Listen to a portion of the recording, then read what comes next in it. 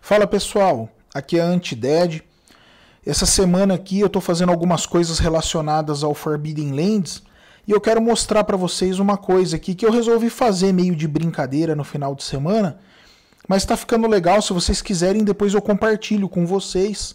Eu coloco para fazer download aí, me dá a opinião de vocês para ver o que, que vocês acham. Essa aqui é a página Geek, Geek Native ou Geek Native é, eu achei uma coisa aqui, eu estava pesquisando umas coisas, sem querer eu trombei com isso aqui. Quando eu estava fazendo aquele vídeo para mostrar para vocês como mestrar RPG, foi o último vídeo que eu subi, eu achei isso aqui, umas fichas customizadas que alguém fez aqui. Eu não sei, aqui chama Marvel at Lizeles Custom Character Sheets. Eu não sei dizer se é o nome da pessoa isso aqui, mas a pessoa fez umas, umas fichas aqui, pelo que eu entendi, isso aqui é D&D. E aí eu achei bem bonita as fichas. Vamos ver se carrega aqui a imagem. Tá meio esquisito. Aí, carregou. Eu achei bem legal. São fichas que são desenhadas à mão. E é uma ficha que ficou bem bacana, essas fichas que ele fez. E eu achei legal e eu resolvi, falei assim, deixa eu tentar fazer uma, vamos ver se fica bonita fazer uma ficha para Forbidden. Então aqui dá pra gente perceber, só pra gente ver, por exemplo, olha aqui, ele utilizou esses é, formas de D20 aqui para marcar os atributos, um pergaminho aqui do lado para marcar skills, é, outras coisas. E eu gostei muito desse é, formato redondo aqui para poder desenhar o rosto do personagem dentro. Então aqui tem bastante elemento que depois eu utilizei no meu também como fonte de inspiração. Eu vou mostrar para vocês. Olha, essa aqui é uma ficha diferente. É um clérigo. Elas, essas fichas são pintadas. Vocês vão ver que a minha ela tá branca e preta.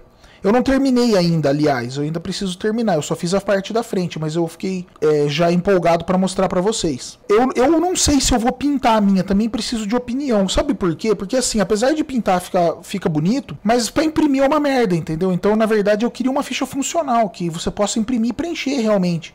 Isso aqui ela é uma ficha pronta, né?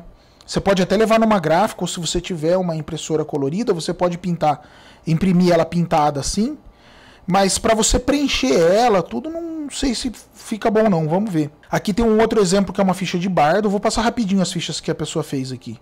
Esse aqui ficou legal, que ele usou muitos temas de notas musicais aqui. Ficou bem legal mesmo. Aqui tem um outro personagem que é um wizard, um evocador.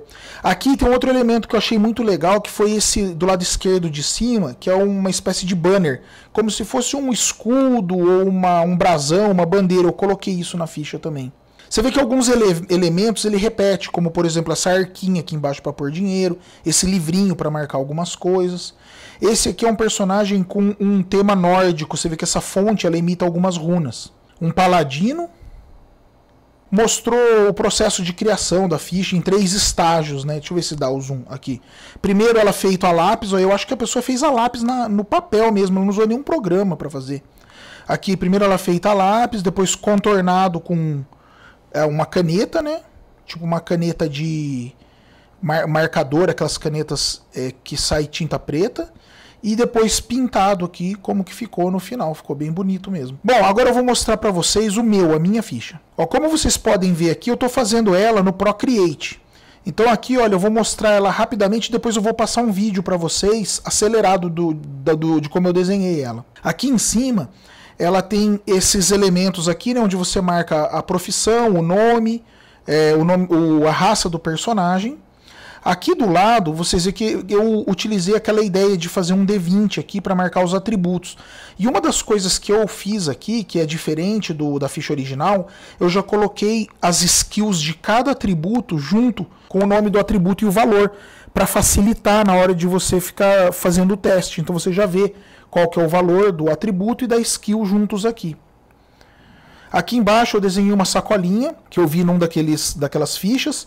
E aqui tem para você marcar Copper Piece, que é de cobre, Silver Piece de prata, Gold Piece de ouro. Aproveitando aqui embaixo, o Willpower eu tive essa ideia de marcar, fazer duas poções, assim como se fossem tubos de ensaio, com cinco bolinhas cada uma para você ir pintando. E esse livrinho aqui, que foi uma ideia que eu achei legal também, aquele livrinho. Se bem que no verso da ficha original aqui do, do Forbidden tem esse, um livrinho também. E nesse livrinho eu marquei aqui, olha, do lado esquerdo, é, aquelas condições, que é sonolento, com frio, com fome, com sede, e do lado direito marca embaixo a reputação e em cima para marcar os XPs. Tem 20 quadradinhos aqui para marcar o XP.